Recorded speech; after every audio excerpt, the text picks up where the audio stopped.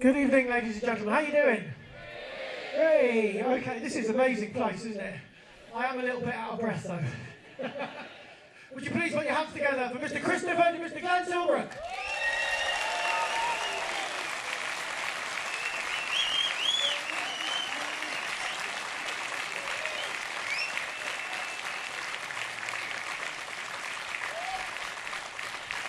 Thank you very much.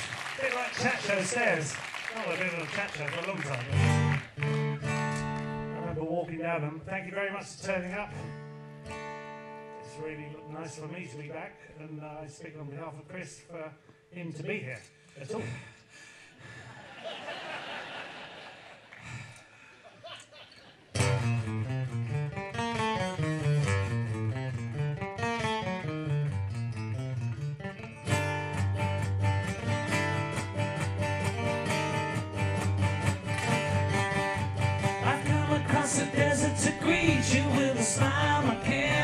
So tight, it's hardly worth my while to tell you. Of my travels across the golden east. I see your preparations.